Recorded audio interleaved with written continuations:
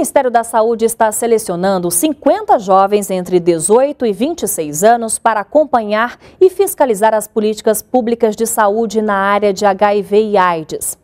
Os selecionados vão participar do curso de formação Novas Lideranças das Populações-Chave, visando o controle social do Sistema Único de Saúde no âmbito do HIV e AIDS, que será realizado em Brasília entre os dias 7 e 11 de maio.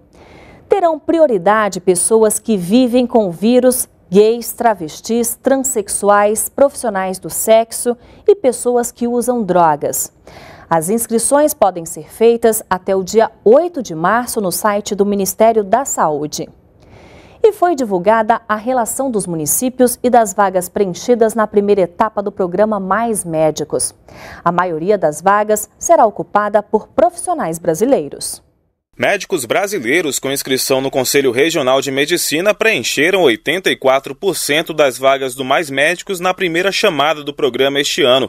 Do total de 3.936 vagas, 3.304 foram ocupadas já na primeira chamada. Os profissionais começam a atender a população no próximo dia 2 de março. Para a segunda chamada, restaram 835 vagas. Caso não sejam preenchidas, uma terceira chamada está prevista para os dias 17 e 18 de março. Se ainda assim não preencherem todas as vagas, aí abre-se para os médicos brasileiros formados no exterior que não têm o diploma validado. Se não preencher, abre para médicos intercambistas individuais, argentinos, uruguaios, portugueses, etc.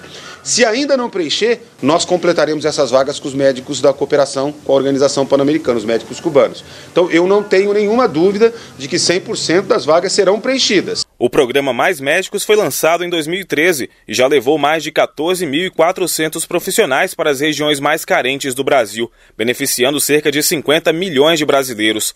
A meta do Ministério da Saúde é alcançar 18.247 médicos no programa até o fim do ano. Para evitar a proliferação do mosquito da dengue, é preciso sempre estar atento aos locais que possam acumular água parada. Mas como lidar com esse problema sendo vizinho de alguma casa abandonada ou terreno vazio com capim alto ou restos de lixo? Locais assim podem ser verdadeiros criadouros do mosquito da dengue. Terrenos abandonados ou casas que ficam fechadas por muito tempo acabam virando criadouros do mosquito da dengue, pois acumulam lixo e água parada. Em Brasília, agentes de vigilância em saúde fizeram uma ação em residências no bairro Lago Sul. Toda a ação foi acompanhada pela Polícia Militar. A entrada dos agentes nas casas sem a presença dos proprietários só é permitida por meio de um alvará da Justiça.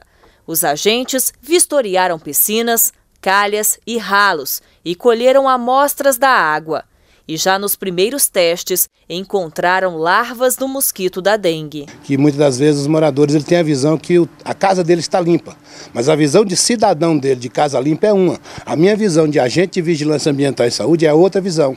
Eu vou verificar a casa dele e às vezes eu mostro locais com água parada que ele nem imaginava que existe. Dona Débora é vizinha de um desses imóveis abandonados e já se sente mais aliviada depois da visita dos agentes. Eu moro aqui no Lago Sul já há quase 40 anos e realmente nesses últimos tempos a gente tem ficado preocupado com, com o estado de algumas casas que não estão mais sendo usadas. E por azar eu sou vizinha de uma delas e que agora, com essa, com essa ação, realmente eu espero que as coisas se resolvam. Este ano, o Ministério da Saúde vai destinar um recurso adicional de 150 milhões de reais a todos os estados e municípios para intensificar as medidas de prevenção vigilância e controle da dengue. O programa Brasil Sorridente já beneficia quase 97 milhões de brasileiros, oferecendo tratamento odontológico de graça pelo Sistema Único de Saúde. A iniciativa já incluiu o Brasil no grupo de países com baixa prevalência de cárie dentária no mundo. O Brasil Sorridente é o maior programa público de saúde bucal do mundo. Criado em 2004, já ajudou a diminuir em 26% a incidência de cáries em crianças e incluiu o Brasil no grupo de países com baixa prevalência de cárie dentária. O programa garante o tratamento odontológico gratuito para a população mais de 24 mil equipes atendem cerca de 40 mil unidades básicas de saúde, além de 1.033 centros de especialidades odontológicas e mais de 1.900 laboratórios de próteses dentárias, que já entregaram quase 2 milhões e meio de próteses pelo SUS. Hoje, em quase 90% dos municípios brasileiros, nós temos pelo menos um dentista e um auxiliar de saúde bucal. Essas equipes, além de fazerem o tratamento clínico, Uh, elas fazem também toda a educação em saúde bucal, orientação de hábitos, de dieta. Este centro de especialidades odontológicas atende em média 50 pacientes por dia. Aqui os profissionais realizam procedimentos de maior complexidade, como tratamentos de canal e cirurgias. A clínica atende pessoas de todas as idades. Juliana é uma das 11 dentistas que fazem parte da equipe. Ela explica que grande parte dos tratamentos feitos aqui se dá pela falta de cuidados básicos com os dentes, como a simples escovação após as refeições. Precisam ter mais hábitos saudáveis, né?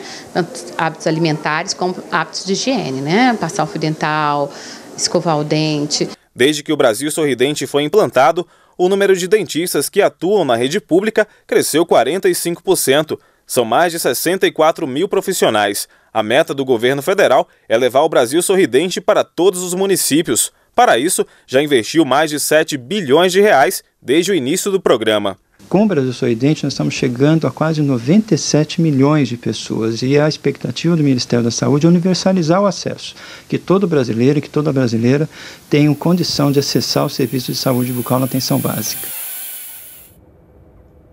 E o Boletim da Saúde fica por aqui. Obrigada pela audiência. Acompanhe as notícias do Ministério da Saúde pelo portal saude.gov.br e pelas redes sociais facebook.com.br e pelo Twitter, arroba Minsaúde. Até a próxima!